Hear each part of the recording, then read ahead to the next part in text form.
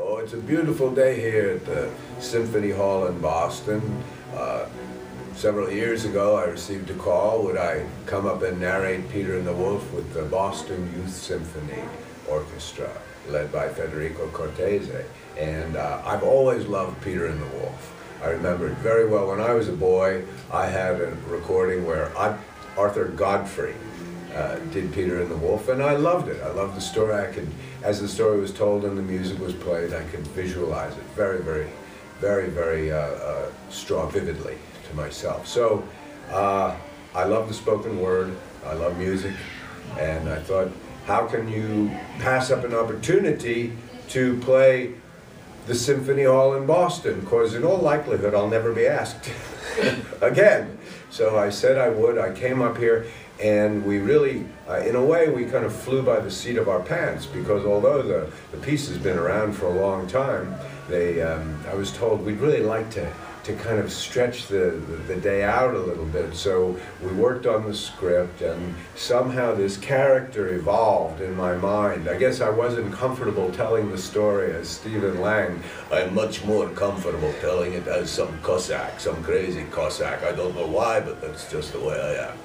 And uh, this character emerged, and we, be, we rehearsed. I came down on a Friday night, and we rehearsed and then on a and it was disastrous. And then on saturday we rehearsed again and it was um, equally disastrous. And then we did the performance for how many does it seat? 2000 children and parents and the energy of the children and the expertise of our conductor and the and the uh, the enthusiasm and uh, uh, musicianship of our young musicians uh, carried the day. And it was a great triumph i think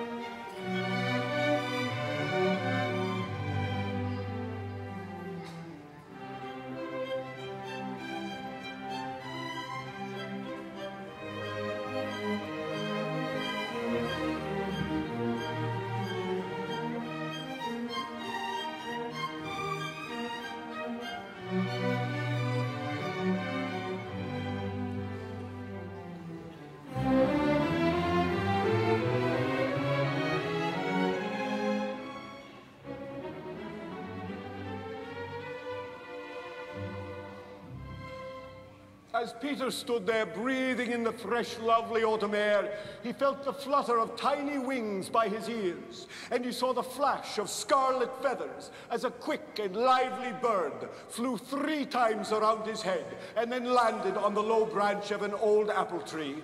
Peter looked at the bird, and the bird looked at Peter, and she winked at him. Yes, she did. She winked right at Peter as if to say, What a clever boy you are, Peter, and what a wonderful day to be alive.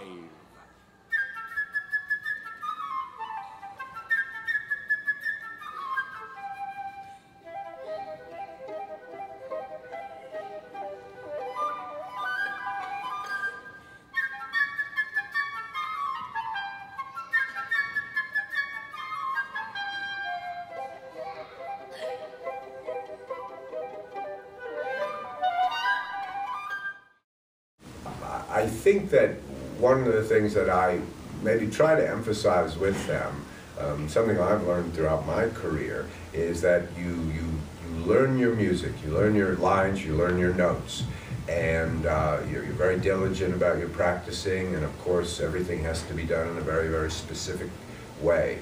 But then when actual performance comes, in some way you want to forget everything. You want to abandon yourself to the material, knowing full well that it lives within you, and just allow the material to the music uh, to to emerge as if it's never been played before. So it doesn't sound scientific. It doesn't sound even rehearsed. It just sounds like it's music that has never, never been heard before. I think that's a difficult thing to convey to people, but it's something that I, throughout my career, have striven to do because a lot of times when you're doing a play, you know, you may repeat it two or three hundred times, and you really need to keep it fresh and keep it alive. So uh, it's part of the technique, and I would expect that it's the same for a musician. So we just spoke about that a little bit. I urge them to just really, when you get out there, have a wonderful time because the audience will share your joy. They'll sense it, they'll understand it, and, and they'll become part of it.